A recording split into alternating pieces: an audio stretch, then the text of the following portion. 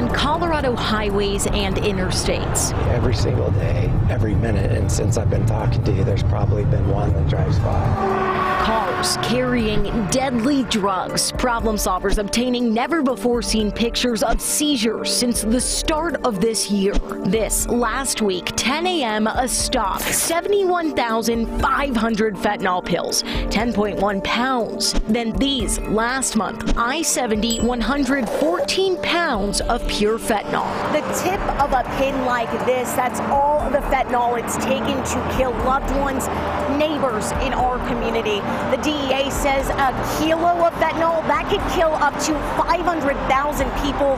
The potential to wipe out entire Colorado cities. That 114 pound load, it could have saved 29 million people. And, and, that is gratifying when you take your uniform off at the end of the day and you look at the, in the mirror that, that you are making a difference. Captain Bill Barkley is the commander over Colorado State Patrol's smuggling, trafficking, and interdiction section, taking on a heavy load day in and day out. We're limited on the number of officers that we have that can look for this stuff 24 7, 365. But they don't give up. Our motto is to be relentless and that we will relentlessly pursue those who transport these items into our state. Relentless, a necessity when you think who they're trying to take down. Yeah, there are members of the cartel um, everywhere in Colorado.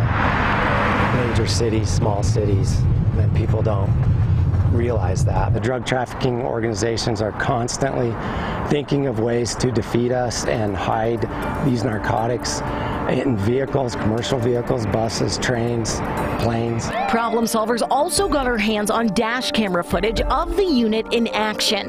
This one, 2021, not fentanyl, but mounds and mounds of money hidden in center console radio panels. Another one, not even 4 p.m. on I 70, ending in bags and bags of narcotics uncovered. And we have found more and more weapons associated with the couriers. Weapons protecting the deadly drugs delivered to dangerous people living and dealing among us. This problem will only get worse if we don't uh, address it. Year to date for 2022, Colorado State Patrol has seized 402 pounds of fentanyl and almost 56,000 pills. Let's compare that to 2019. The entire year, CSP only found 11 pounds of fentanyl in Colorado cars.